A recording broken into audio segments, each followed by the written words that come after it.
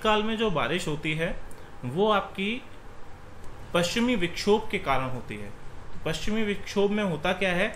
यहाँ है आपका मेडिटेरेनियन सी जिसको हिंदी में कहते हैं भूमध्य सागर। यहाँ से पवने जाती हैं इस डायरेक्शन में टुवार्ड्स ईस्ट डायरेक्शन और यहाँ से Syria Iraq Iran Afghanistan Pakistan होते हुए, ये फिर उसके बाद पंजाब, राजस्थान से भारत में प्रवेश करती हैं तो शीतकाल में जो वर्षा होती है, वो आपकी पश्चिम से पूर्व दिशा में घटती जाती है, जबकि जो ग्रीष्म काल की जो वर्षा होती है, वो पूर्व से पश्चिम में घटती जाती है। तो विंटर टाइम में या शीतकाल में भारत में क्या होगा कि सूर्य हमारा दक्षिणायन में होगा, अर्थात सनरेज परपेंडिकुलर होंगी आपके साउदर्न हेमिस्फीयर में और आपका जो नॉर्दर्न हेमिस्फीयर में है, यहाँ पर शीतकाल है, अर्थात यहाँ पर इतना टेम्परेचर रिसीव नहीं हो रहा है सूर्य से। तो इस कारण से यहाँ पर हमारी जो भारत की मुख्य भूमि है लैंड पर आपको हाई प्रेशर देखने को मिलेगा। दो चीज़ें हैं, एक है साइक्लोन और एक है एंटी साइक्लोन साइक्लोन के सेंटर में लो प्रेशर का सेंटर होता है और हमेशा वायु के जो दिशा होती है, वो हाई प्रेशर से लो प्रेशर की तरफ़ होती है। तो जब साइक्लोन होता है तो साइक्लोन के सेंटर में चूँकि लो प्रेशर है, इसलिए बाहर से अंदर की तरफ़ साइक्लोन में वायु आ रही होती है। वहीं अगर हम एंटी साइक्लोन प्रति चक्रवात की अगर हम बात करते हैं तो उसके केंद्र में हाई प्रेशर होता है और उसके बाहर लो प्रेशर होता है। तो उसके केंद्र से चारों तरफ़ ऑल डायरेक्शन में आपके विंड फ्लो होती है। तो जो विंटर मानसून है, जब भूमध्य सागर से जो पश्चिमी विक्षोभ है, वो आएगा तो आपके कहाँ कहाँ बारिश करेगा? राजस्थान में थोड़ा हरियाणा, पंजाब और वेस्टर्न यूपी तक आपको बारिश देखने को मिलेगी। थोड़ी दिल्ली में भी इसमें बारिश होती है। राजस्थान में पश्चिमी विक्षोभ से जो बारिश होती है, उसको मावट कहते हैं। तो हम बात कर रहे थे प्रतिचक्रवात की। तो प्रतिचक्रवात में अगर ये मानिए, इस लैंड पर अगर हाई प्रेशर है तो हाई प्रेशर से चारों दिशा में आपकी वायु का प्रवाह होगा। और चूँकि भारत हमारा नॉर्दर्न हेमीस्फीयर में है तो यहाँ पर कोरियोलिस फोर्स किस तरीके से काम करेगा? क्लॉकवाइज रोटेशन अर्थात घड़ी की सुइयों की दिशा में। तो जब भारत की भूमि से पवने जाएँगी समुद्र पे तो उसमें रोटेशन उत्पन्न होगा क्लॉकवाइज तो यहाँ पर जो रोटेशन उत्पन्न होगा तो जो बे ऑफ़ बंगाल है, समुद्र के ऊपर, आपको ज़्यादा समुद्र के ऊपर जो आर्द्रता मिलेगी तो वो पवने आर्द्रता को लेते हुए जो आपका ये कोरोमंडल कोस्ट है, यहाँ पर लेके आएँगे और यहाँ पर इसके कारण आपको नवंबर, दिसंबर के आसपास बारिश देखने को मिलेगी। और यही आपका नॉर्थ ईस्ट मानसून होता है। इसके बाद बात करेंगे हम नेचुरल डिजास्टर्स की, प्राकृतिक आपदा। तो 2004 में सुनामी आई थी भारतीय जो हिंद महासागर है वहाँ पर।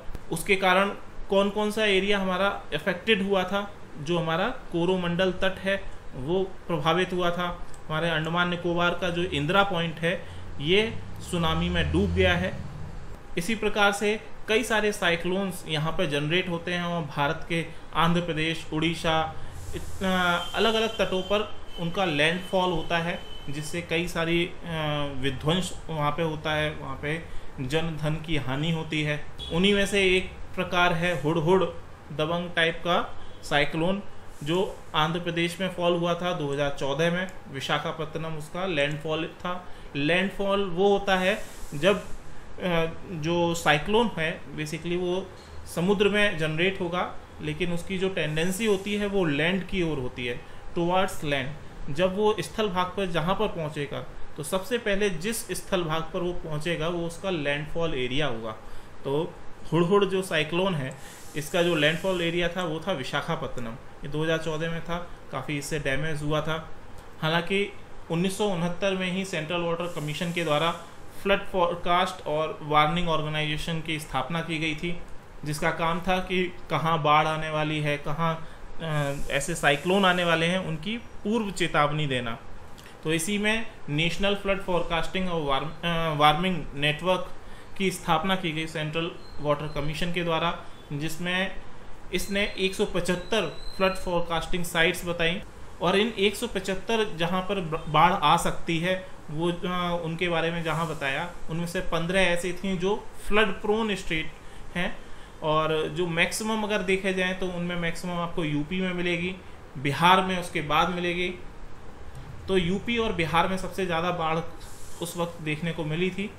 साथ ही इस डिपार्टमेंट के द्वारा, इस ऑर्गेनाइजेशन के द्वारा, वो क्षेत्र भी बताया जाता है कि जहाँ सबसे ज़्यादा सूखा पड़ेगा। तो इसको उसने लोकेट किया था, जो मिडल ईस्ट इंडिया है, वहाँ पर सबसे ज़्यादा सूखा पड़ेगा।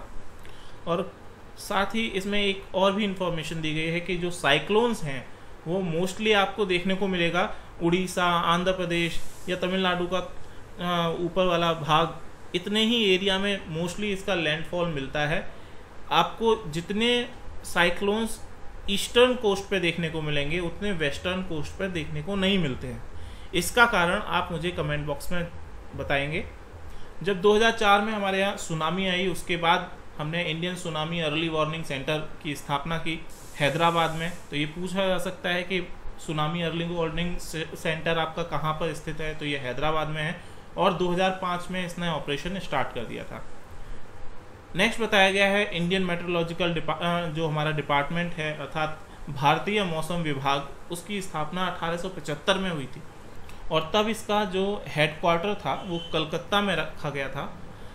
अब इंडियन मेट्रोलॉजिकल डिपार्टमेंट या आईएमडी शॉर्ट फॉर्म में ministry of earth and science के अंतर्गत आती है और अब इसका जो हेड ऑफ़िस है वो लोधी रोड, नई दिल्ली में स्थित है। सबसे पहले जब कोलकाता में था, कलकत्ता में इसका था, अठारह में हेडक्वार्टर उसके बाद शिमला में लाया गया 1905 में, फिर पुणे में 1928 में शिफ्ट किया गया और फाइनली 1944 में नई दिल्ली इसका हेडक्वार्टर शिफ्ट कर दिया गया था। और भारत का पहला डिजास्टर मैनेजमेंट ट्रेनिंग इंस्टीट्यूट बनाया गया है लातूर, महाराष्ट्र में। और इसका निर्माण किया है सीआरपीएफ के द्वारा। अब बात करते हैं अर्थक्वेक अर्थात भूकंप की। तो भूकंप के लिए भारत को हमारे पाँच भागों में बांटा गया है zone five four three two one zone five में भारत का लगभग 10.9 परसेंट एरिया आता है। और यहाँ पर भूकंप आने की सबसे ज़्यादा संभावनाएँ होती हैं, इसलिए हाईएस्ट रिस्क जोन होता है ये। और इस क्षेत्र में क्या क्या क्षेत्र आता है आपका? कश्मीर वेस्टर्न और सेंट्रल हिमालय नॉर्थ और middle Bihar north east Indian region और रण ऑफ़ कक्ष ये सारे क्षेत्र आपका जोन फाइव में आता है, जहाँ पे सबसे ज़्यादा भूकंप आने की संभावना होती है। अगला है जोन फोर इसे कहते हैं हाई डैमेज रिस्क जोन यहाँ पे बहुत ज़्यादा डैमेज देखने को मिलती है। और इसमें आपका कौन कौन सा क्षेत्र आता है? जो इंडो गंगेटिक बेसिन है, वो आएगा। दिल्ली, जम्मू कश्मीर, ये जोन फोर में आता है। महाराष्ट्र, पटना एरिया जो कोया नगर है महाराष्ट्र में, उसका जो पटना एरिया है, वो भी जोन फोर में आता है। साथ ही Himachal Pradesh, Sikkim northern part of Uttar Pradesh, Bihar west Bengal और गुजरात का कुछ एरिया और महाराष्ट्र का कुछ भाग जो पश्चिमी तट के किनारे है और राजस्थान का भाग। ये सारा एरिया आपका आता है जोन फोर में। तो इस प्रकार से अगर देखा जाए तो सत्रह दशमलव तीन percent of area of the country आपका जोन फोर में आता है। अगला जोन है जोन थ्री। इसमें आपके लक्षद्वीप आइलैंड आते हैं और ये मॉडरेट डैमेज रिस्क जोन में आता है। और अगर देखा जाए तो 30.4 percent area of the country zone three में आती है। जोन टू में भारत का लगभग 41.4 परसेंट एरिया इसमें कवर होता है। जोन टू में इसमें कौन कौन सा क्षेत्र आएगा? जोन टू में आएगा major parts of peninsular region Karnataka, plateau, ये सारे इस क्षेत्र में आते हैं। ये हाई सीजमिक इंटेंसिटी वाला क्षेत्र है। क्षेत्र नहीं है तो यहाँ पर इतना ज़्यादा खतरा नहीं होता है। ये एक सेफ़ जोन है। तो आप कह सकते हैं कि प्रायद्वीपीय भारत पर सबसे ज़्यादा सेफेस्ट जोन है और सबसे ज़्यादा खतरा कहाँ होगा? जहाँ पर वॉल्केनिक एक्टिविटी या जो आपकी टेक्टोनिक थ्योरी है, वो काम कर रही है। तो कहाँ पे काम करेगी? जो पूरा पहाड़ वाला रीजन है, जहाँ पर ये हिमालय का निर्माण हुआ। हिमालय का जो तटीय मतलब जो उसका जो पदीय क्षेत्र है, फुट हिल्स एरिया वहाँ सबसे ज़्यादा खतरा है और धीरे धीरे जैसे जैसे आप पेंसुलर इंडिया पे आएँगे, वहाँ पर उतना ही कम रिस्क होता चला जाएगा। अब नेक्स्ट टेबल में दिया हुआ है विभिन्न शहर और वो कौन कौन से जोन में आते हैं तो आप देख सकते हैं भुज जोन फाइव में आता है, हैदराबाद जोन टू में, चेन्नई जोन टू में, श्रीनगर आपका जोन फाइव में आता है। अब बात करते हैं फ्रीक्वेंसी ऑफ़ फ्लड अर्थात बाढ़ के बारे में। तो वर्तमान में देखा जाए, अभी भी अगर आप देखें तो इस सीज़न में भी कितनी बारिश हो रही है? सितंबर के इस महीने में एमपी में ये सिचुएशन आ गई है कि हर जगह आपको बाढ़ देखने को मिलेगी। तो रिसेंट डिकेट्स में फ्रीक्वेंसी ऑफ़ फ्लड्स उत्तरी भारत के मैदानों में बढ़ती जा रही है। इसका कारण क्या है? एक तो जलवायु परिवर्तन उसका कारण हो सकता है, लेकिन इसके साथ साथ जो नदियाँ हैं, नदियों में गाद की मात्रा, गाद का जमाव भी धीरे धीरे होता जा रहा है और गाद के जमाव से होता क्या है कि नदियों की जो गहराई है, वो कम होती जाती है। इसके कारण जब उसमें जल प्रवाह होता है तो जल पूरी तली तक न जाकर वो चारों ओर उसका जो फैलाव है, वो ज़्यादा हो जाता है। इसके कारण आसपास के क्षेत्रों में बाढ़ आती है। तो इसके लिए हमें हमारे जो नदियाँ हैं, उनके गाद को हटाना चाहिए उन नदियों की भी सफ़ाई करनी चाहिए। अगर हम अपने उत्तर प्रदेश की बात करते हैं तो इसको तीन भागों में बांटा गया है। एक हाई फ्लड अफेक्टेड दूसरा मीडियम फ्लड अफेक्टेड और तीसरा low flood affected region high flood affected region में आपका 48 परसेंट ऑफ़ यूपी एरिया आपका कवर होता है। और अगर हम बात करें कि यूपी का कौन सा भाग सबसे ज़्यादा बाढ़ से प्रभावित रहता है तो जो पूर्वी भाग है यूपी का वो आपका बाढ़ से सबसे ज़्यादा प्रभावित क्षेत्रफल होता है। अब इसके बाद हम बात करते हैं सॉइल्स अर्थात मृदा। तो सबसे पहले इन्होंने बताया है ब्लैक सॉइल के बारे में, काली मिट्टी। काली मिट्टी को रेगुर के नाम से भी जाना जाता है।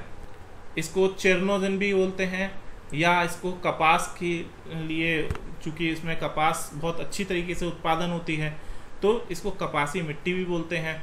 और ये मुख्यतः कहाँ पाई जाती है? महाराष्ट्र, मध्य प्रदेश, कर्नाटक का कुछ भाग, आंध्र प्रदेश, गुजरात, तमिलनाडु।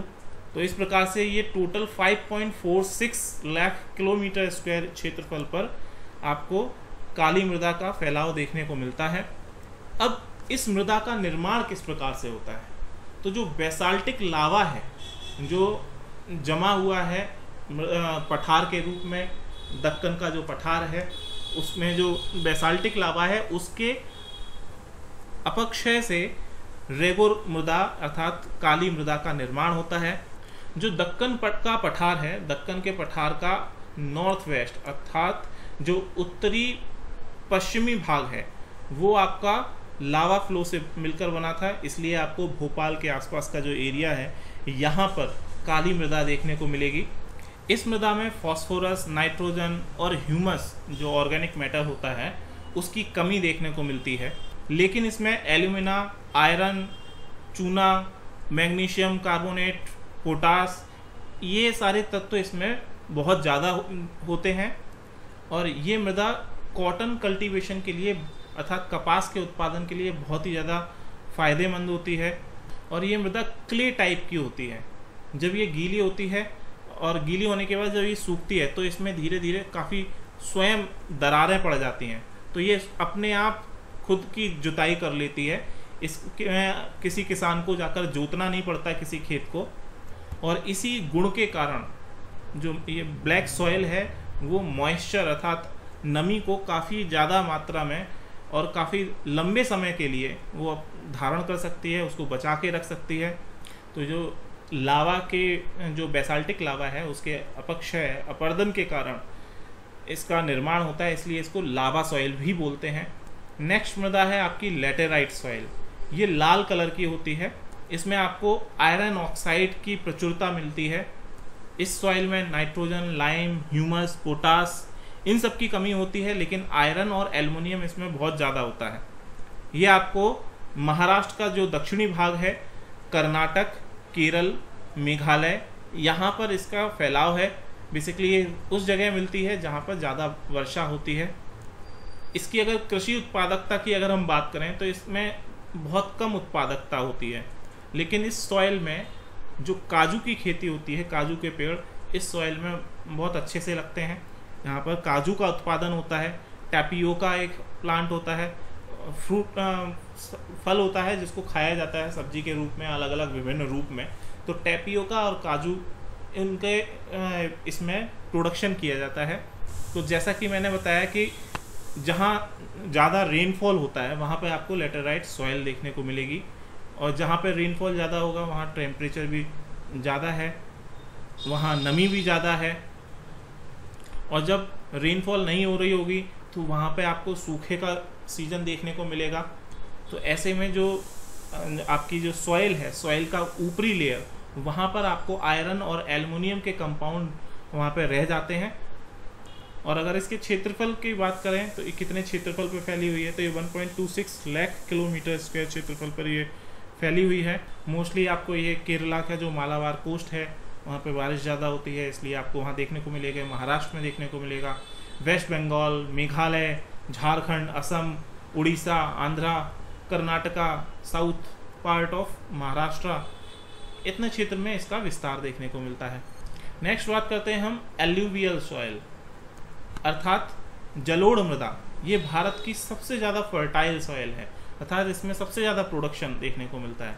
इसमें थोड़ी कम मात्रा में नाइट्रोजन उपस्थित होती है और मेनली इसका निर्माण किससे हुआ है? नदियों के का जो जल है, वो हिमालय के जो सेडिमेंट्स हैं, उनको बहा कर लेके आती है और उनसे जो आपके उत्तरी मैदान हैं, उत्तर प्रदेश, बिहार इत्यादि, इन सभी मैदानों का निर्माण नदियों के द्वारा ही किया गया है, सेडिमेंट्स जमाव के द्वारा। तो इसका जो क्षेत्रफल है, टोटल कितने क्षेत्रफल पर यह विस्तारित है तो ये 7.68 लाख किलोमीटर स्क्वायर क्षेत्रफल पर एलुवियल सॉइल का विस्तार है। और चूँकि ये सबसे ज़्यादा हाईली प्रोडक्टिव लैंड है इसीलिए यहाँ पर पॉपुलेशन भी सबसे ज़्यादा होगी, क्योंकि यहाँ पर देखिए नदियों, जल का, जल की उपलब्धता है और एग्रीकल्चर आसानी से की जा सकती है।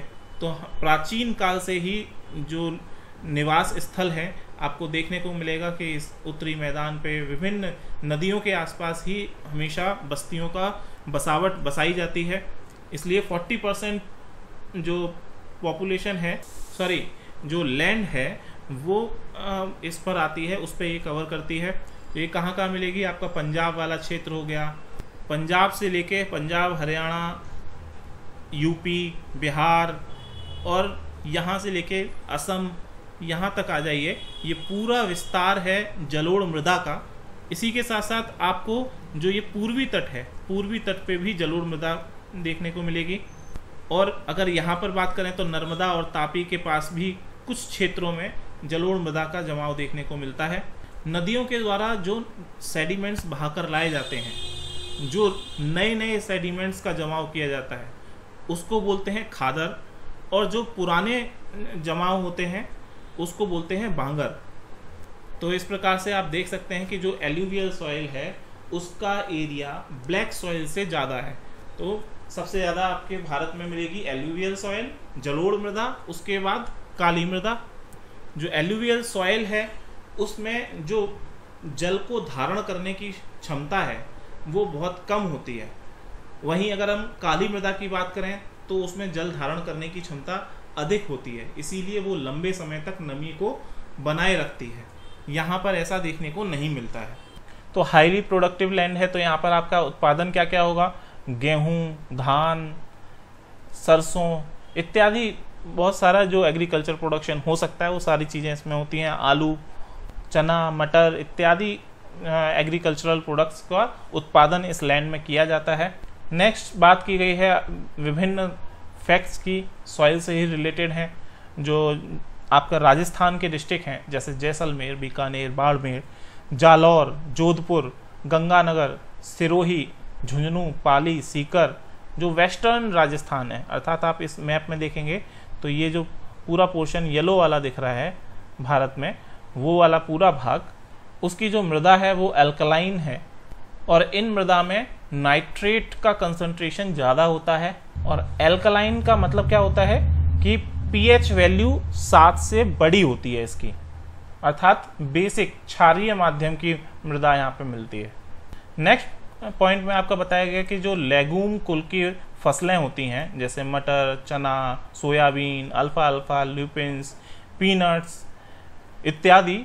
ये बेसिकली क्या होते हैं, इनकी खेती करने से मृदा में नाइट्रोजन का स्तर बढ़ जाता है, क्योंकि लेगूम कुल के जो पौधे होते हैं, उनकी जड़ों में एक बैक्टीरिया होता है राइजोबियम बैक्टीरिया वो क्या करता है नाइट्रेट से नाइट्रोजन को पृथक करता है और वो बनाता है सॉरी जो एटमॉस्फेरिक नाइट्रोजन है, उससे नाइट्रेट में उसको कन्वर्ट कर देता है और मृदा में सॉइल में उसको स्टोर कर देता है।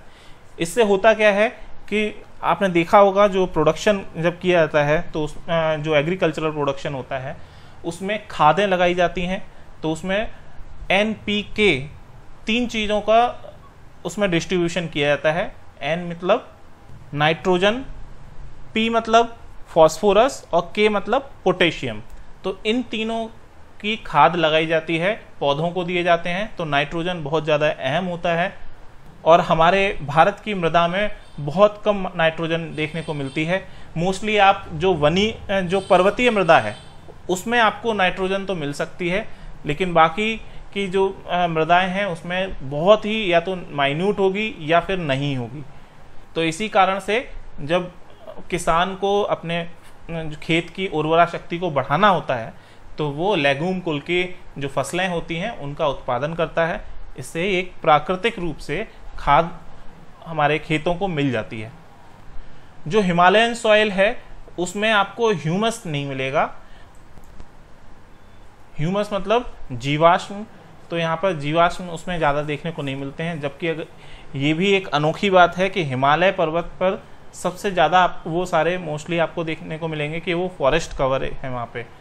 काफ़ी सारे फॉरेस्ट रिजर्व्स हैं हिमालय पर्वत पर। फिर भी जो हिमालयन सॉइल्स है, उसमें ह्यूमस देखने को नहीं मिलता है।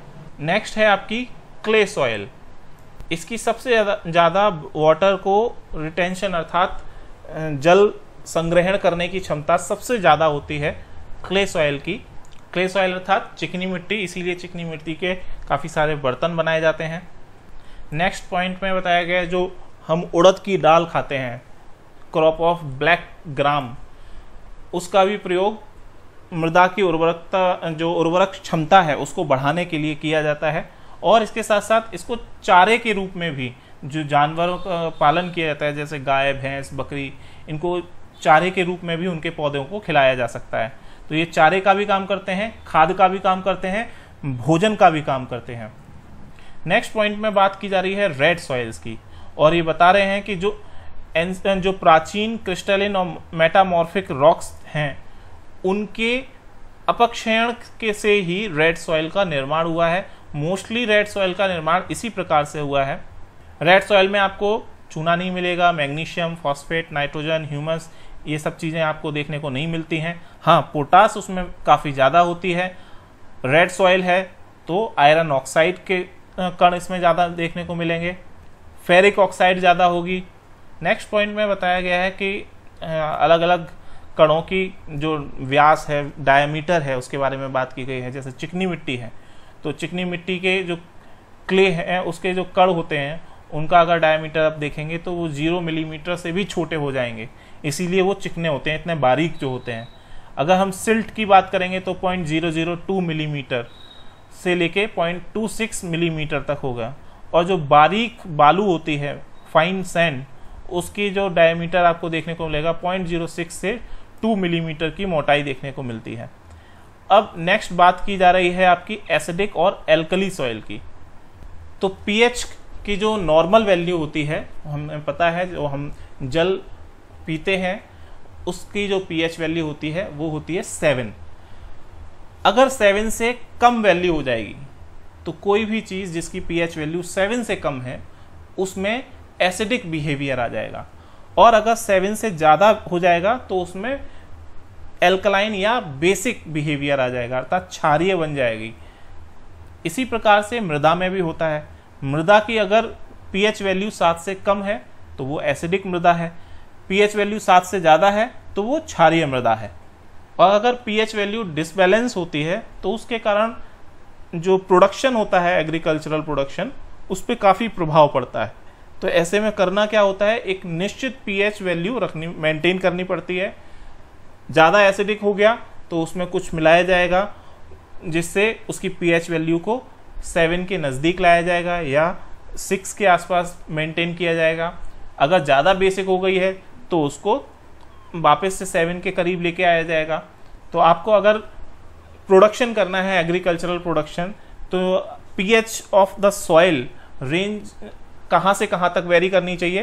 पीएच वैल्यू छः से लेकर साढ़े सात तक अगर है तो वो बढ़िया है। उसमें सर्वोत्तम फ़सल पैदा होगी। लेकिन कहीं देखा जाता है कि जो सॉइल है, उसमें एसिडिक क्वालिटी आ गई। अर्थात छः पीएच से पीएच वैल्यू सिक्स से कम हो गई उसकी वैल्यू तो वहाँ पर लाइम अर्थात चूने को ज़मीन में डाला जाता है, मृदा के साथ मिक्स किया जाता है, ताकि जो वैल्यू है उसकी, वो फिर से छः या सात के आसपास ला दी जाए। और अगर कहीं कहीं ये भी देखने को मिलता है कि अगर मान लीजिए पीएच वैल्यू साढ़े सात से भी ज़्यादा हो गई, उसमें क्षारीय गुण ज़्यादा आ गए तो उसमें कैल्शियम सल्फेट मिलाया जाता है।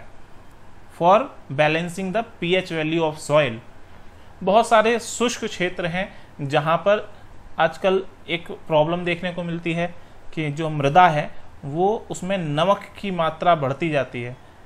या कह सकते हैं कि लवड़ों की मात्रा बढ़ती जाती है। और इससे जो पूर्वी राजस्थान का भाग है, हरियाणा और पश्चिमी उत्तर प्रदेश का भाग, आजकल बहुत ज़्यादा पीड़ित है। क्यों? ऐसा होता क्यों है? सबसे पहले भूमि पर प्रोडक्शन के लिए एग्रीकल्चर प्रोडक्शन के लिए काफ़ी ज़्यादा मात्रा में पानी से सिंचाई कर दी जाती है। जल का जमाव हो जाता है मृदा के ऊपर।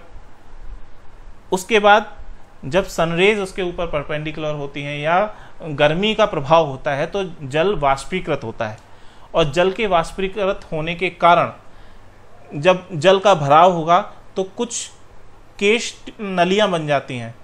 केशिका नली अर्थात कैपिलरी ट्यूब्स तो जब जल का जमा हो जाता है धरा के ऊपर और धीरे धीरे जो केशिका नली होती हैं कैपिलरी ट्यूब्स उनके थ्रू जो जल है वो ज़मीन में जाने लगता है। लेकिन जब गर्मी ऊपर ज़्यादा हो जाती है तो पानी इवेपोरेट होता है और इसके कारण जो लैंड है, उसके नमी भी धीरे धीरे इवेपोरेट होने लगती है। तो होता क्या है कि जो अंदर सॉल्ट हैं कई सारे सॉल्ट सॉइल्स में मिलते हैं। मैग्नीशियम कैल्शियम ये सारे सॉल्ट्स धीरे धीरे पानी के साथ वो भी ऊपर आने लगते हैं। और इसके कारण सरफेस की ऊपरी सतह पर आपके लवण का जमाव हो जाता है। सॉल्ट्स वहाँ पर आ, मतलब जम जाते हैं। सॉल्ट्स की एक मोटी परत वहाँ पर जम जाती है। इससे रेह कल्लर जैसी भूमि का निर्माण होता है। और होता, इससे जो एग्रीकल्चर प्रोडक्शन होता है, वो काफ़ी घट जाता है, भूमि बंजर होने लगती है। नेक्स्ट हम बात करते हैं टी अर्थात चाय, जो हमारा राष्ट्रीय पेय है, जिसे सब लोग पीते हैं। तो चाय का जो उत्पादन है, वो कई प्रकार की मृदा में किया जाता है। अगर देखा जाए बेस्ट उत्पादन कहाँ पे होगा तो स्लाइटली थोड़ा सा एसिडिक मीडियम होना चाहिए। उसमें थोड़ा कैल्शियम भी वहाँ पे उपलब्ध हो उस मृदा में। वहाँ पर चाय का उत्पादन सर्वश्रेष्ठ होता है। जो चाय की फ़सल है या चाय के पौधे हैं, वो जल जमाव को सह नहीं पाते, वो टॉलरेंट नहीं होते इतने ज़्यादा कि वो जल के जमाव को सह सकें। तो इसलिए जो चाय के बागान होते हैं, वो आप हमेशा देखेंगे, पहाड़ की ढाल पर ही होते हैं। तो वहाँ पर अगर पानी कहीं पे भी होगा तो वो धीरे धीरे नीचे की ओर रिस्क के चला जाएगा। वहाँ पे जल का जमाव नहीं हो सकता है। नेक्स्ट बात की जा रही है सॉयल एरोजन एंड इम्प्रूवमेंट अर्थात मृदा क्षरण और मृदा क्षरण से बचने के क्या उपाय हैं? किस तरीके से मृदा के उत्पादक क्षमता को बढ़ाना है? वो सारे काम किए जा रहे हैं। विभिन्न स्कीम्स क्या क्या हैं? तो इस पॉइंट में बताया गया है कि maximum soil erosion affected area Bharat में कहाँ कहाँ है? तो आप देख सकते हैं चंबल के जो आपको रेवाइंस मिलेंगे, अर्थात बीहड़, जो चंबल के बीहड़ हैं, वो सारा वो बंजर भूमि है। और वहाँ पर सॉयल एरोजन बहुत सबसे ज़्यादा हुआ है। यमुना नदी के द्वारा भी ऐसा आपको काफ़ी बैरन लैंड मिलेगा, जो पश्चिमी हिमालय श्रेणियाँ हैं, अर्थात शिवालिक श्रेणी, उसका जो फुट हिल एरिया है, जो उसका पर्वत पदीय क्षेत्र है, वहाँ पर भी सॉयल इरोजन काफ़ी देखने को मिलता है। छोटा नागपुर प्लेटू में भी देखने को मिलता है। क्यों? वहाँ पर खनन एक्टिविटी बहुत ज़्यादा है। नेक्स्ट है तापी और साबरमती की जो घाटियाँ हैं, अर्थात मालवा प्लेटू का वो क्षेत्र। तो वहाँ पर भी बहुत ज़्यादा सॉयल इरोजन है। ब्लैक सॉइल जो है, काली मिट्टी जो है महाराष्ट्र की, उसमें भी सबसे ज़्यादा सॉयल इरोजन मिलता है। इसी के साथ साथ हरियाणा, राजस्थान और गुजरात और थोड़ा पोर्शन आप वेस्टर्न यूपी का आप जोड़ लीजिए, जो मथुरा, इटावा, मैनपुरी, ये सारा जो रीजन है, यहाँ पर जो एरिड रीजन है। हरियाणा, राजस्थान और गुजरात में तो आपका थोड़ा सा एरिड रीजन आ जाएगा। लेकिन जो अभी मैंने इस पर पहले रेह और कल्लर भूमि का निर्माण किस प्रकार से होता है, लवणीकरण मृदा का किस प्रकार से हो रहा है, उसका प्रभाव भी आपको जो वेस्टर्न यूपी है, उसके कुछ ज़िलों में देखने को मिलेगा। जैसे आपका मैंने बताया, इटावा, औरैया और यम आपका यमुना के नज़दीक का जितना भी पोर्शन है, वो सारी चीज़ें उसमें आती हैं। मध्य प्रदेश की बात करें तो सॉइल इरोजन सबसे ज़्यादा आपको चंबल की घाटी में देखने को मिलेगा, क्योंकि वहाँ पर उसके जो चैनल है, जो चंबल नदी के जल का बहाव हुआ था, उससे बहुत ही प्राचीन काल में कभी वो उस पूरे क्षेत्र में बहती होगी। उसके कारण इस मृदा का काफ़ी ज़्यादा अपर्दन हो गया और ये चंबल के रेवाइंस बन गए, जिसको बीहड़ भी बोलते हैं हिंदी में। ये कहाँ कहाँ विस्तारित है? तो आपका मुरैना, भिंड, ग्वालियर, शिवपुरी तो ये सारा और इटावा, भिंड, ये सारा जो क्षेत्र है, यहाँ पर आपका पूरा चंबल के बिहड़ विस्तृत हैं, फैले हुए हैं। तो सॉइल इरोजन का जल के जल के कारण जो सॉइल इरोजन होता है, उसका जो पूरा प्रोसेस है, उसको सबसे पहले देखते हैं कि सबसे पहले मान लीजिए कि ज़मीन पर जब रेन ड्रॉप होगा तो स्प्लैश इरोजन होगा। और किस प्रकार से होगा, ये एक डायग्राम है। ऊपर से एक ड्रॉप फॉल होगी। ये जब इधर साइड में आएगी तो उसके कारण कुछ हल्के हल्के से यहाँ पर ज़मीन पे गड्ढे बनने चालू होंगे। और जब लगातार जल की वर्षा होती रहेगी तो धीरे धीरे ये जो आपके जो गड्ढे हैं, आपस में मिलने लगेंगे और एक नालिका बना लेंगे। और इस प्रकार से शीट इरोजन होने लगेगा उसका। और जो मृदा की ऊपरी परत है, उसका वो वहाँ से स्थानांतरण कर देंगे।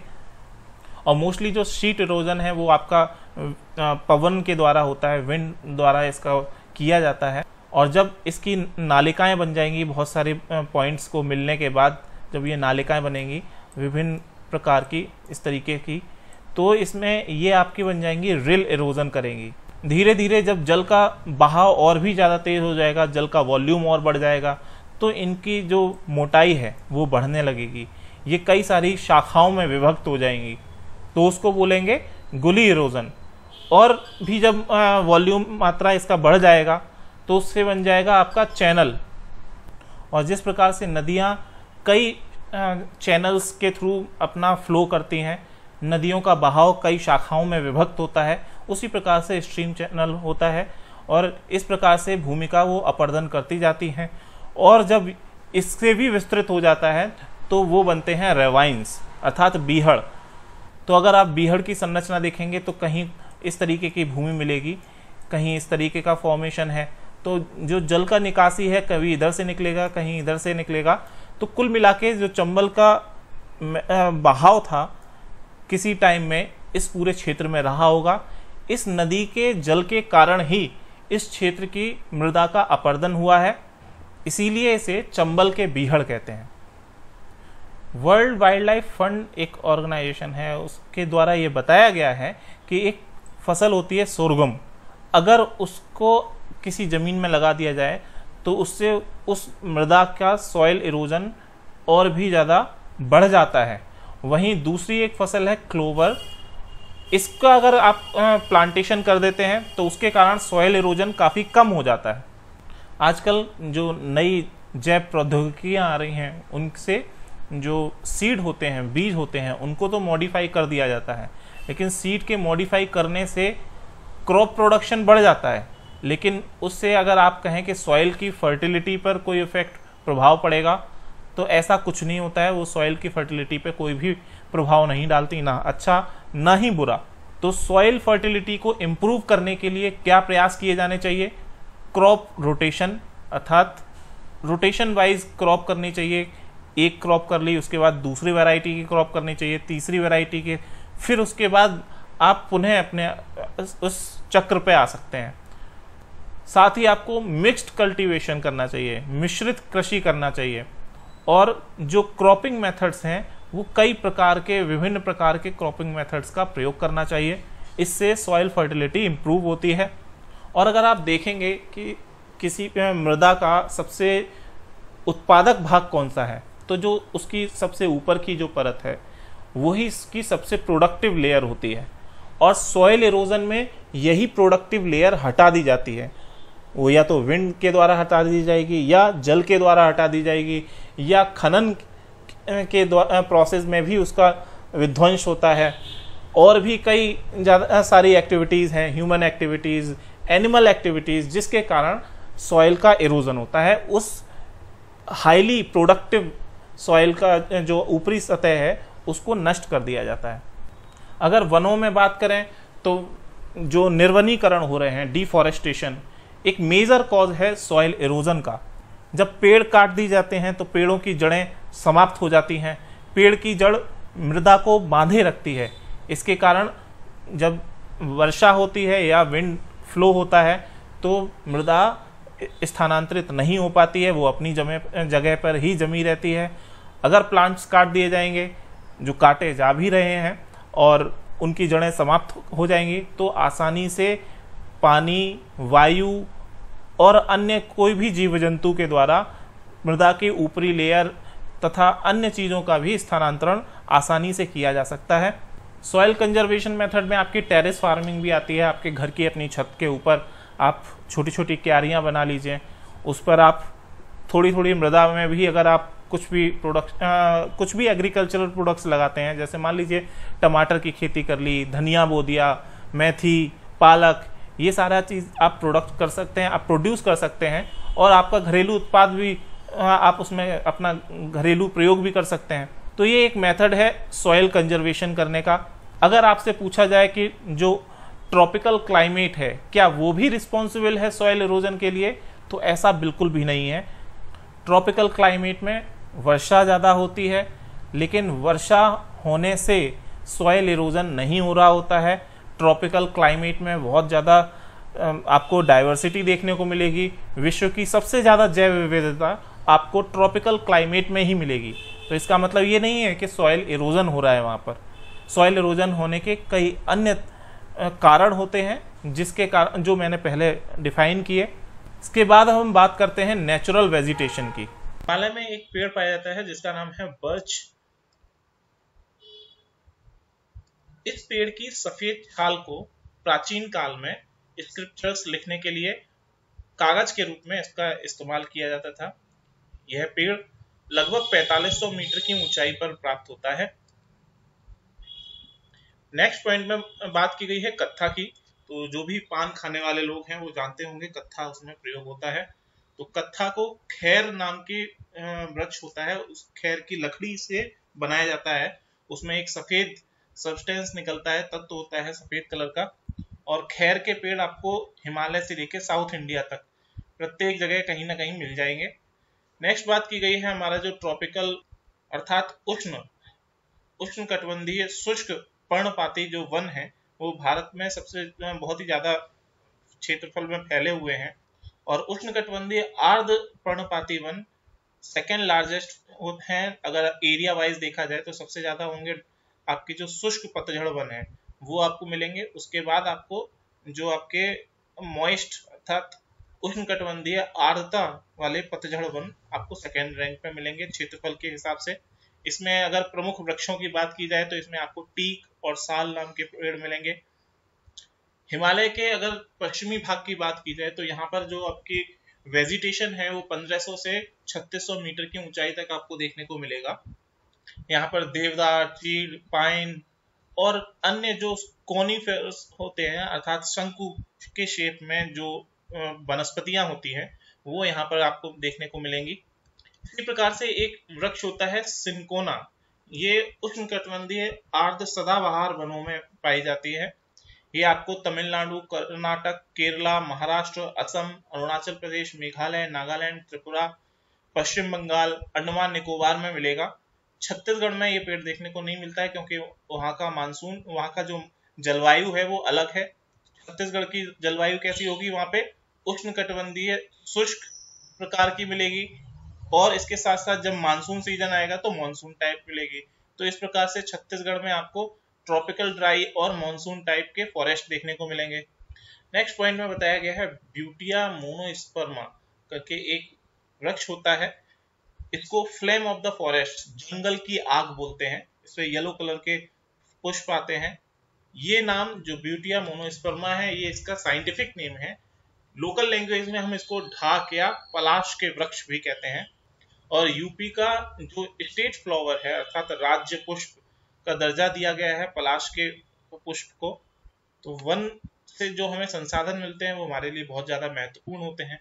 अगर वनों से मिलने वाले उत्पादों की बात करें और विभिन्न वृक्षों की बात करें तो जैसे टीक, साल, शीशम, रोजवुड, देवदार, चीन, पाइन, स्प्रूस, ये सभी वृक्ष ऐसे हैं जिनकी लकड़ी का प्रयोग हम आर्थिक आधार के लिए करते हैं। उनसे हम फर्नीचर बनाते हैं। हिरन की दो प्रजातियाँ हैं ऑरिक्स और चिरू तो जो ऑरिक्स प्रजाति है उसने हॉट और अर्थात उष्ण और आ, जो शुष्क क्षेत्र हैं जैसे सऊदी अरब उसमें अपने आप को रहने के लिए ढाल लिया है। वहीं अगर हम बात करते हैं हिरन की दूसरी प्रजाति चिरू के बारे में तो इसने जो कुछ माउंटेन्स हैं हाई माउंटेन्स हैं जिनकी हाइट बहुत ज़्यादा है वहाँ पर स्टेपीज और सेमी डेजर्ट एरिया में रहने के लिए अपने आप को अनुकूलित कर लिया है। नेक्स्ट बात की जा रही है फर्न की। तो फर्न एक ऐसा पौधा है जो जिसका कोई बीज नहीं होते हैं, वो अपने आप उत्पादित होते हैं। उनका ना ही कोई उस पर फ्लावर आते हैं, ना ही उसके कोई बीज होते हैं। नेक्स्ट बात की जा रही है टीक वृक्ष की। तो आपको एमपी में देखने को मिलेगा, ये सेंट्रल इंडिया में सेंट्रल इंडिया वाला जो पूरा भाग एमपी छत्तीसगढ़ उड़ीसा वहाँ पर टीक के वृक्ष आपको सबसे ज़्यादा देखने को मिलेंगे। देवदार वृक्ष की बात करें ये आपको वेस्टर्न हिमालय पे मिल जाएगा 1500 से 2000 मीटर की ऊंचाई पर। सुंदरी वृक्ष की बात करें तो सुंदर वन आपको मालूम है बांग्लादेश में और हमारा वेस्ट बंगाल में, जो ये सुंदर वन है।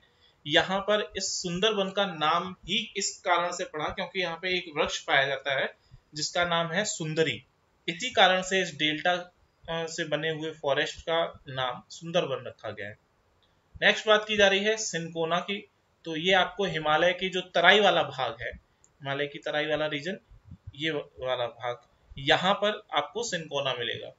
नेक्स्ट क्वेश्चन आया हुआ था कि ट्रॉपिकल फॉरेस्ट कहाँ पे होंगे कॉनिफर फॉरेस्ट कहाँ होंगे मैंग्रोव कहाँ मिलेगा, और पर्णपाती वन किधर मिलेंगे? तो ट्रॉपिकल फॉरेस्ट साइलेंट वैली में कॉनिफर फॉरेस्ट जितने भी कॉनिफर फॉरेस्ट होते हैं कॉनिफर वेजिटेशन कॉनिफर ट्रीज जितने हैं वो आपको सारा पहाड़ियों पर मिलेगा तो हिमाचल प्रदेश आ जाएगा।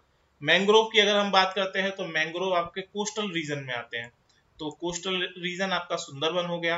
पर्णपाती वन वहाँ पे होगा, जहाँ वर्षा बहुत कम हो रही है, जहाँ टेम्परेचर वेरिएशन बहुत ज़्यादा है तो राजस्थान में आपको ये मिलेगा। अब बात करते हैं विभिन्न प्रकार के वनों की। तो सबसे पहले ट्रॉपिकल मॉइस्ट डेसिडुअस फॉरेस्ट अर्थात उष्ण कटबंधीय आर्द्र पर्णपाती वन। ये कहाँ पर हमको मिलेंगे? इसके लिए कितना रेनफॉल होना चाहिए? तो रेनफॉल 100 से 150 सेंटीमीटर प्रतिवर्ष यहाँ पे वर्षा होनी चाहिए। और इन वनों को मानसूनी वन भी कहते हैं। ये मोस्टली कहाँ मिलेंगे आपको? जो वेस्टर्न घाट है आपका, ये वाला पोर्शन यहाँ पर आपको देखने को मिलेगा। ट्रॉपिकल मॉइस्ट डेसिडियस फॉरेस्ट और ये भी आपको किधर मिलेगा? जो यहाँ पर आपके कगार नुमा यहाँ पे जो पर्वत होंगे, पश्चिमी घाट पर उसके पश्चिमी ढाल की जगह ये पूर्वी ढाल पे होंगे, क्योंकि पश्चिमी ढाल पे आपकी 250 सेंटीमीटर के आसपास वर्षा हो रही है तो वहाँ आपको डेसिडुअस फॉरेस्ट देखने को नहीं मिलेगा। वहाँ आपको ट्रॉपिकल मॉइस्ट फॉरेस्ट होंगे, लेकिन पर्णपाती नहीं होंगे। तो कम वर्षा आपके पूर्वी स्लोप पे होती है eastern slope of the mountains इसी के साथ साथ जो हमारा प्रायद्वीपीय भारत है, जो इसका नॉर्थ ईस्ट वाला क्षेत्र है, वहाँ पर भी ये ट्रॉपिकल मॉइस्ट डेसिडुअस फॉरेस्ट आपको मिलेगा। और जो भाभर और तराई वाला क्षेत्र है, वहाँ पर भी आपको ये वन देखने को मिलेंगे। अब बात करते हैं हम ट्रॉपिकल ड्राई डेसिडुअस फॉरेस्ट अर्थात उष्ण कटबंधीय शुष्क पर्णपाती वनों की। तो रेनफॉल यहाँ पर कितना होना चाहिए? 70 से 100 सेंटीमीटर के बीच में। और ये मध्य भारत से लेके दक्षिणी भारत तक विस्तारित है। नेक्स्ट बात की जा रही है अल्पाइन फॉरेस्ट की। तो अल्पाइन फॉरेस्ट आपको हिमालय हिल्स पे आपको देखने को मिलेगा। तो ये, इसकी जो ऊंचाई है ये बेसिकली फॉरेस्ट कहाँ मिलेगा? 2800 से लेके 4000 मीटर की ऊंचाई पर ये फॉरेस्ट आपको देखने को मिलेंगे। जो इसका मैक्सिमम एरिया आपको देखने को मिलेगा अरुणाचल प्रदेश आप चले जाइए वहाँ पर आपको अल्पाइन फॉरेस्ट मिल जाएगा। ट्रॉपिकल एवरग्रीन फॉरेस्ट अर्थात उष्ण सदाबहार वन यहाँ पर 250 सेंटीमीटर वर्षा होगी। और यहाँ पतझड़ का कोई मौसम नहीं आता है। और सदा आपको यहाँ पे रेनफॉल बहुत ज़्यादा है। और तो जो वेस्टर्न घाट का मैंने पहले बताया था ईस्टर्न ईस्ट वाला स्लोप अब यहाँ पर जो वेस्ट वाला स्लोप है, अर्थात पश्चिम, पश्चिमी ढाल जो वेस्टर्न घाट का है, अर्थात इसको सहयाद्री भी बोलते हैं तो सहयाद्री माउंटेन्स का पश्चिमी ढाल पर आपको ट्रॉपिकल एवरग्रीन फॉरेस्ट मिलेंगे।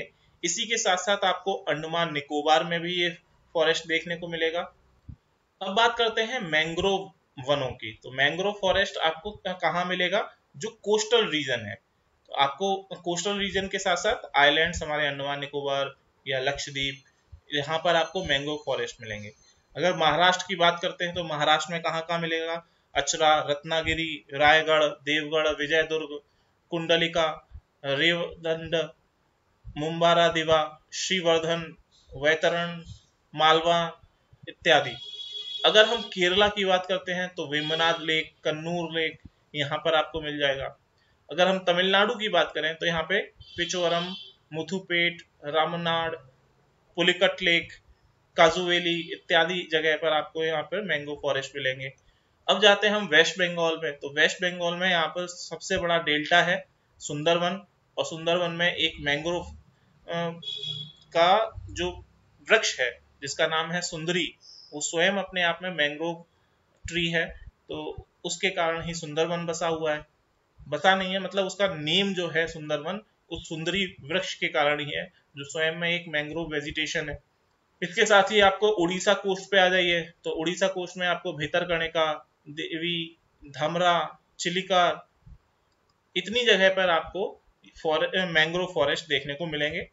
नेक्स्ट पॉइंट में बताया गया है कि उत्तराखंड में जो पाइन ट्रीज हैं, उनसे एक प्रोडक्ट निकाला जाता है, उनका गोंद होता है उन वृक्ष का, उसका नाम है लीसा। और इस लीसा से ही बनाया जाता है टर्पेंटाइल ऑयल और नॉन वोलेटाइल इरोजन अर्थात बहुत ही ज़्यादा तीव्र मात्रा में जहाँ अपक्षरण अपर्दन नहीं देखने को मिलता है, वहाँ पर इस ऑयल का उपयोग किया जाता है। जैसे अगर हम बात करें किस इंडस्ट्रीज़ में इसका उपयोग होता है तो पेपर इंडस्ट्री में सोप में कॉस्मेटिक्स पेंट वार्निश रबर इत्यादि इंडस्ट्रीज़ में इस ऑयल का उपयोग किया जाता है। तो ये लीसा आपके पाइन ट्रीज से निकलता है, उत्तराखंड मोस्टली आपके हिमालय में मिलता है।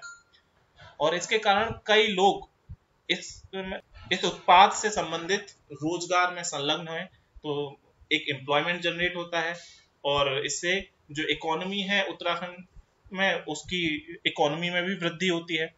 अब हम देखेंगे वो क्या कारक हैं जिसके कारण क्लाइमेट अफेक्ट होता है। तो सबसे पहले है आपकी लोकेशन अर्थात वो किस लैटिट्यूड पे है, किस लॉन्गिट्यूड पर है। जितना ही जो इक्वेटर के नज़दीक होगा आपका अक्षांश या लैटिट्यूड उतना ही ज़्यादा गर्मी वहाँ पे होगा, उतना ही टेम्परेचर इंक्रीज होगा। जितना ही पोल्स के नज़दीक होगा, उतना ही टेम्परेचर कम होगा। नेक्स्ट बात करते हैं एल्टीट्यूड की। तो जितनी ऊंचाई ज़्यादा होती जाएगी जैसे जैसे हमारी सी लेवल से ऊंचाई बढ़ती जाएगी टेम्परेचर कम होता जाएगा।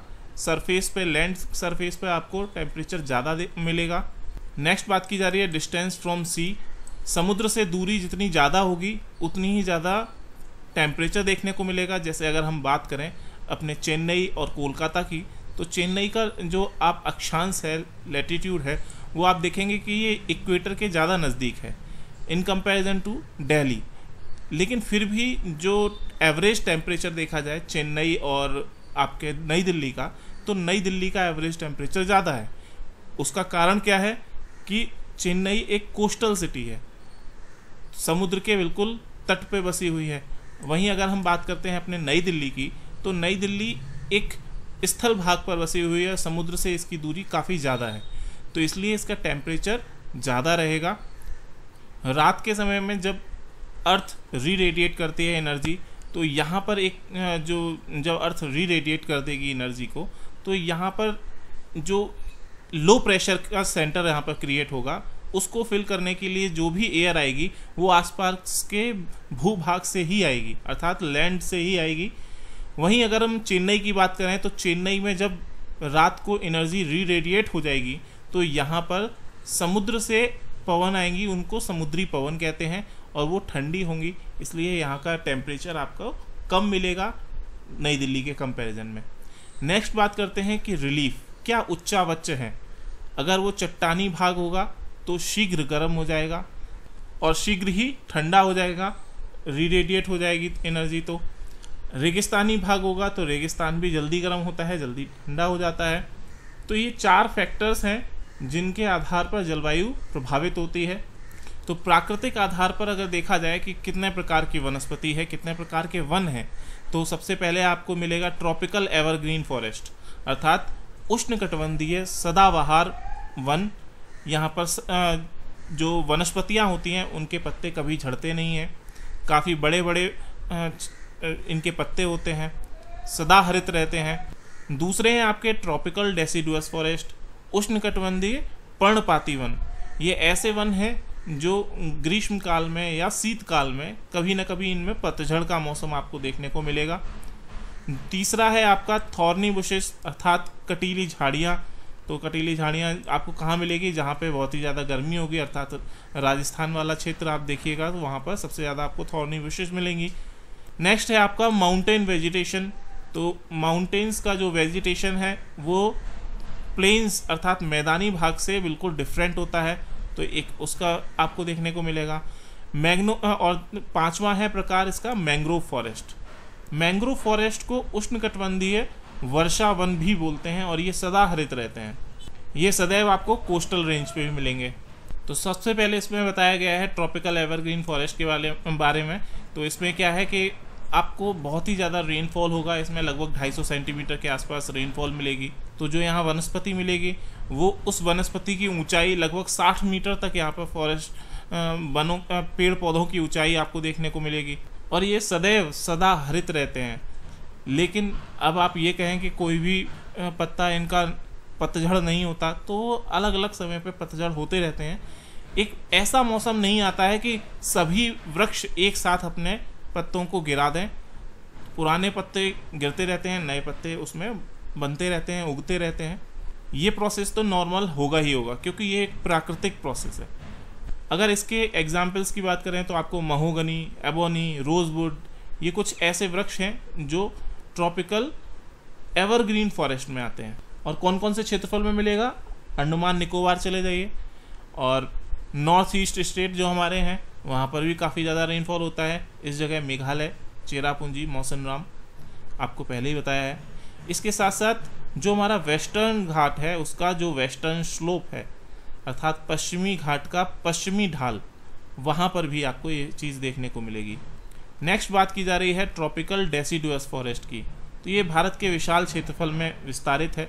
इसको मानसून फॉरेस्ट भी बोलते हैं। जब मानसून का सीज़न आता है, तब इसमें हरे हरे कोपलें निकलती हैं। पत्तियों की और ये हरित वन हो जाते हैं। जब मानसून नहीं होता है तो ये शुष्क काल में अपनी पत्तियों को गिरा देते हैं। तो अगर इसकी डेंसिटी देखी जाए in comparison to evergreen forest तो एवरग्रीन फॉरेस्ट की जो डेंसिटी है, वृक्ष काफ़ी ज़्यादा घनत्व में देखने को मिलते हैं। यहाँ पर जो धरा है, ज़मीन है, वहाँ तक सनलाइट पहुँचती भी नहीं है एवरग्रीन फॉरेस्ट में। क्योंकि वनस्पति इतनी ज़्यादा संघनित हो रखी हैं कि सारा ब्लॉक कर दिया जाता है ऊँचे ऊँचे पेड़ों के द्वारा सनलाइट को। इसीलिए यहाँ पर वृक्षों के मध्य में एक होड़ मची रहती है कि हमको सनलाइट लेनी है, हमको अपने रिसीव करनी है। तो इसीलिए यहाँ पर आपको 60-60 मीटर की ऊंचाई तक के वृक्ष भी देखने को मिलेंगे। वहीं आप डेसीडियस फॉरेस्ट में आ जाइए तो यहाँ पर इतनी ज़्यादा डेंसिटी नहीं होती है। इसके प्रमुख जो एग्जाम्पल्स हैं पेड़ों के तो साल, टीक, पीपल, नीम शीशम ये सभी ट्रॉपिकल डेसीडुअस फॉरेस्ट में आते हैं। तो ये बेसिक डिफरेंस आपने दोनों में देखा। अब हम बात करते हैं इरिगेशन अर्थात सिंचाई और नहरों के बारे में। तो सबसे पहले हम बात कर रहे हैं अपने पेनिनसुलर इंडिया अर्थात प्रायद्वीपीय भारत की। तो यहाँ पर हमें पता है कि ये ऑलरेडी एक डेक्कन प्लेटू है। अर्थात काफ़ी चट्टानी भाग यहाँ पे देखने को मिलेगा। आसानी से उस चट्टान को तोड़ के हम कैनाल्स नहीं बना सकते, कुएँ नहीं बना सकते, क्योंकि हम कितना भी नीचे जाएँगे तो हमको आसानी से पानी नहीं मिलेगा। कहीं होगा या कहीं नहीं हो सकता है। तो इसीलिए पेनिनसुलर इंडिया में सिंचाई का सबसे जो प्रमुख साधन है, वो है आपका पॉन्ड इरिगेशन अर्थात तालाब बना लिए जाते हैं, उनके द्वारा सिंचाई की जाती है। साथ ही आपको ये भी पता है कि जो प्रायद्वीपीय नदियाँ हैं, वो सदा नीरा नहीं होती हैं, अर्थात उनमें सदैव जल देखने को नहीं मिलेगा। बारह महीने जब मानसून का सीज़न आएगा, तभी उनमें पानी देखने को मिलता है। पानी की उपलब्धता होती है। इसीलिए कैनाल्स भी नहीं बनाई जाती। कि आप भैया चट्टाने तोड़ के कैनाल भी बना लो और पानी भी आपको हर वक्त न मिले। तो ये तो एक लॉस हुआ आपके मनी का रिसोर्सेज का लॉस हुआ। तो इसीलिए बड़े बड़े टैंक्स बना दिए जाते हैं, तालाब बना दिए जाते हैं, जिनका, जिनमें वर्षा जल का संचयन कर दिया जाता है और उसका प्रयोग किया जाता है सिंचाई के लिए। जब हम नॉर्मल सिंचाई करते हैं, अर्थात खेतों में पानी भर दिया, उससे क्या होता है? पानी की वेस्टेज ज़्यादा होती है, क्योंकि गर्मी के कारण पानी वेपराइज होता है और उसके कारण मैंने आपको रेह और कल्लर भूमि के बारे में बताया, किस प्रकार से लवड़िया भूमि बन जाती है। तो उसके कारण भूमि की उर्वरा शक्ति भी कमज़ोर होती है। इसके, और जब उर्वरा शक्ति कमज़ोर हो जाएगी तो आप कई सारे फर्टिलाइज़र्स उसमें प्रयोग करेंगे। कई सारे न्यूट्रिएंट्स को अलग से आप डाल के उन्हें देना चाहेंगे। नाइट्रोजन फॉस्फेट फॉस्फोरस पोटेशियम ये सारी चीज़ें आप उसमें प्रोवाइड करना चाहेंगे। तो भूमि की उर्वरा शक्ति को बचाए रखने के लिए आपको माइक्रो इरिगेशन का सहारा लेना आवश्यक है। माइक्रो इरिगेशन में क्या होता है?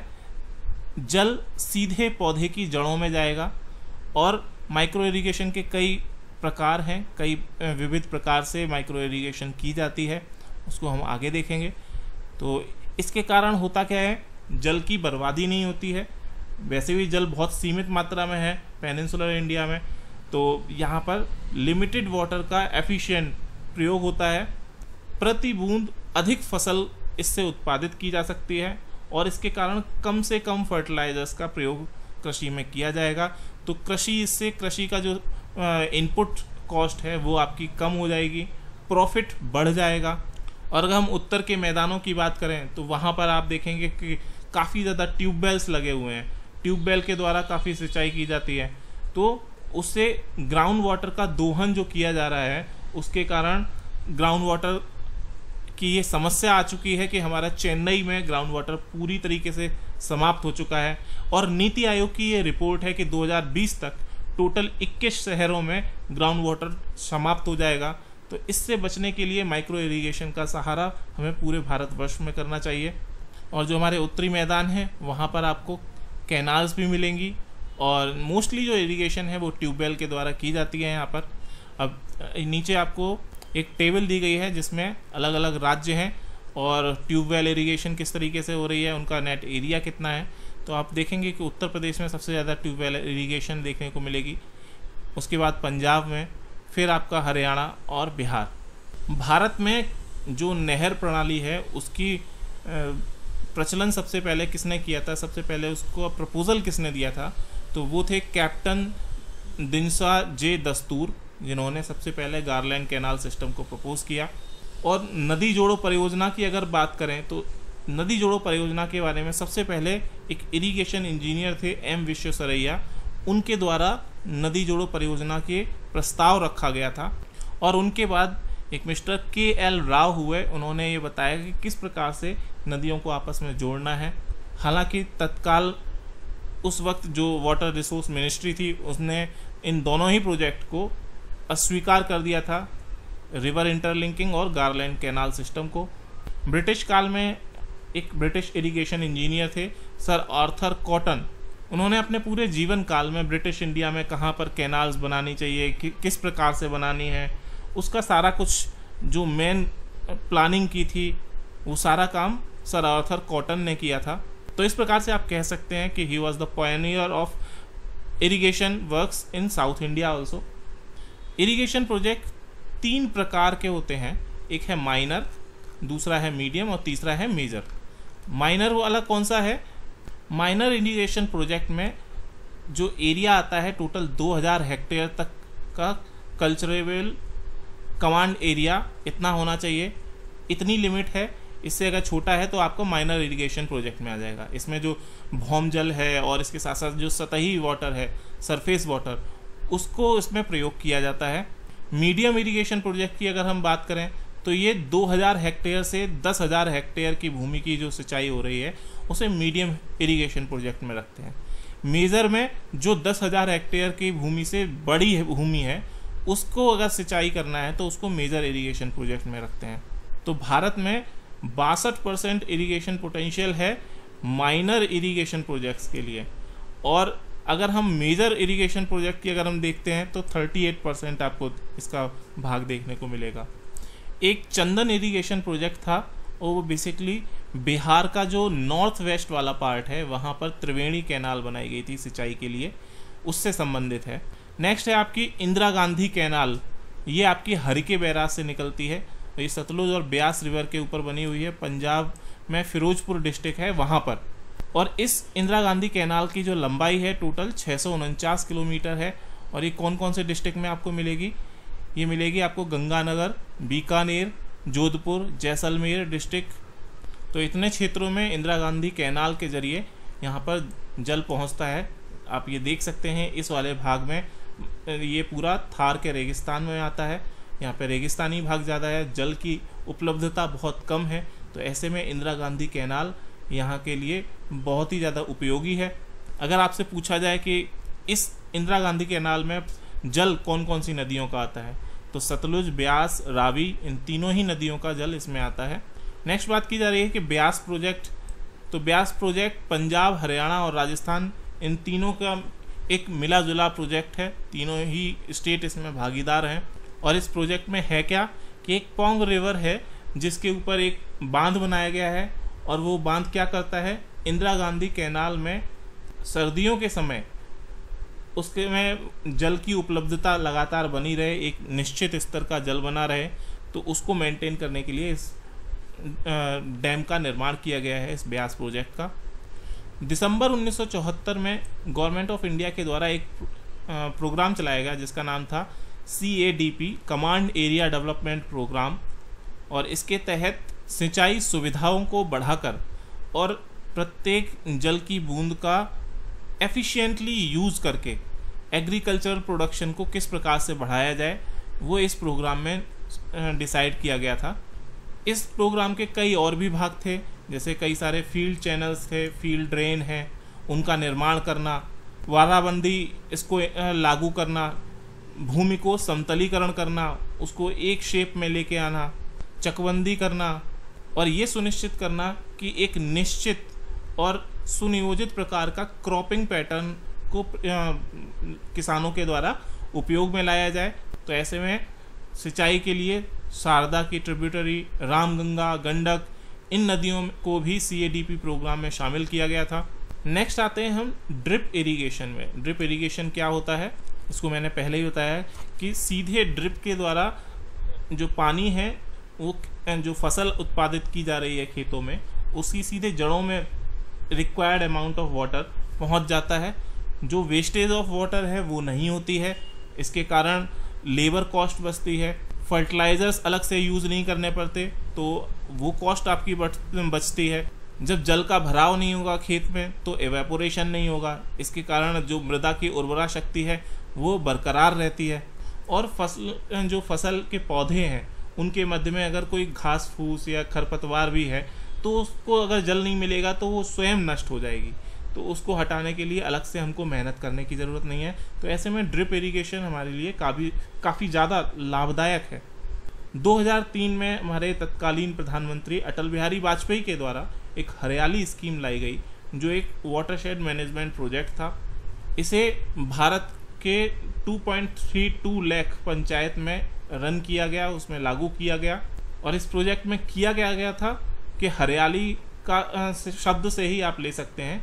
अर्थात आप हरियाली को बढ़ाइए, विस्तृत कीजिए, वनों, वन रोपण कीजिए पौधारोपण कीजिए। तो इसमें लोगों को बढ़ावा दिया गया था कि आप पौधारोपण कीजिए, वनों का क्षेत्रफल बढ़ाइए। तो ये हरियाली स्कीम उससे संबंधित है। अब हम बात करते हैं मल्टीपर्पज़ रिवर वैली प्रोजेक्ट्स। सबसे पहले हम नर्मदा वैली की बात करेंगे। तो मैप में भी हम नर्मदा के देखते हैं, कहाँ पे है नर्मदा? तो ये है आपकी नर्मदा नदी। ये जबलपुर से निकल रही है यहाँ से और यहाँ से जाकर ये एमपी और एमपी के बाद महाराष्ट्र में प्रवेश करती है, उसके बाद आपका गुजरात में आती है और यहाँ पर गल्फ ऑफ़ खनबात में वो अपना विसर्जन कर देती है। तो नर्मदा घाट, नर्मदा जो नदी है, इसके ऊपर अब कौन सा डैम बना हुआ है? सरदार सरोवर डैम इसकी ऊंचाई कितनी है? 138.68 मीटर फ्रॉम सी लेवल और ये गुजरात के नवगाम के निकट स्थित है। यहाँ पर 1450 मेगावाट इलेक्ट्रिसिटी जनरेशन होता है। और इसके बेनिफिशियरी स्टेट्स कौन कौन से हैं? गुजरात और आपका एमपी महाराष्ट्र और राजस्थान। तो जो ये सरदार सरोवर डैम है, उसकी लोकेशन आप देखिए, ये यहाँ पर है सरदार सरोवर डैम। तो इसमें कुछ एमपी का भाग भी आता है। ये बॉर्डर आप देख रहे हैं, ये इधर गुजरात है और इसके इधर साइड में आपका महाराष्ट्र और इधर है आपका एमपी तो इसके निर्माण के प्रोसेस में यहाँ पर एक डिस्ट्रिक्ट है एमपी में, खंडवा। खंडवा का हरसुद नाम का एक टाउन था। वो 2004 में इसको निर्माण करते वक्त जल में जलमग्न हो चुका था। और नर्मदा नदी के ऊपर अगर देखे जाएँ तो कई सारे इस पर आपको मुख्य बाँध मिलेंगे। बारगी, ओंकारेश्वर, इंदिरा सागर बाँध, ये कई सारे इस पर बाँध हैं। लगभग तीस के आसपास हैं। अगर आपसे पूछा जाए कि बाण सागर डैम कहाँ पर स्थित है? तो ये सोन नदी के ऊपर स्थित है। और सरदार सरोवर, जो सरदार सरोवर प्रोजेक्ट है, उसके निर्माण से जो लोग प्रभावित हुए, जिनका ज़मीन चली गई, जिनका घर डूब गया, जलमग्न हो गया तो उनसे जो प्रभावित लोग थे, उन्होंने अपने अधिकारों की मांग की।